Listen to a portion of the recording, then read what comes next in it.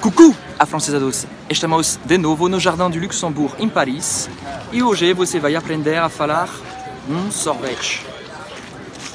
Como se fala isso em francês? Seria une glace. Une glace. Você tem opções, você pode pedir uma bola, duas bolas, três bolas. Seria une boule de glace, deux boules de glace, trois boules de glace. Trois comme ça.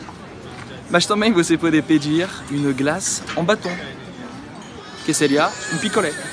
Une glace en bâton. Qual a diferença então entre une glace e um sorbet?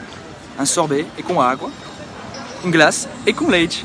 É isso para hoje, a franceses. Esperamos que tenha gostado desse vídeo. Se for o caso, deixa seu like. Até a próxima.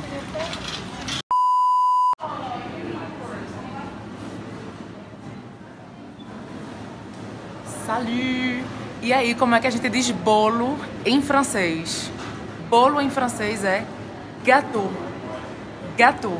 Não confundir que gato não é gâteau, tá? Gato é chá em francês. Gâteau. Moi, j'aime les gâteaux. Aimes-tu les gâteaux? Allez, à la prochaine. Miam.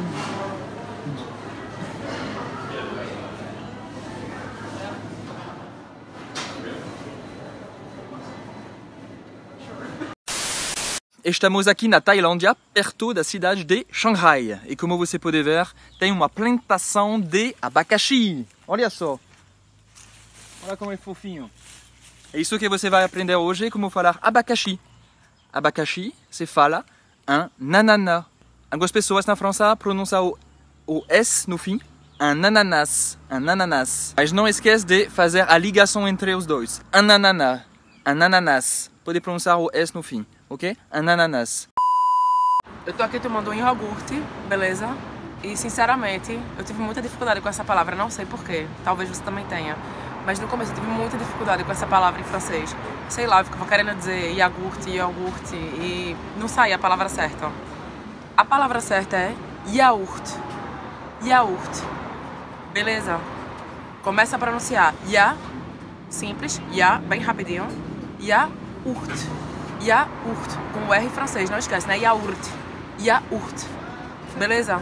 Só isso, simples assim. Não tem G na palavra, tá? Não vai fazer a besteira que eu fazia e ficar falando iogurte. Beleza? Tchau, a tutti. Estamos ainda na frente do mar em Lima, no Peru. Estou, eu estou aqui matando a saudade da França, comendo uma crepe. Mas uma crepe em francês se pronuncia diferentemente. Se pronuncia une crêpe. Une crêpe. Lembra o R francês? R, com garganta. Crêpe, crêpe. E também o primeiro E é um, aberto. Crêpe. E o último E é mudo. Crêpe. Une crêpe. É isso para hoje. E sua vez? Une crêpe. É, parabéns, felicitações. Agora vou comer.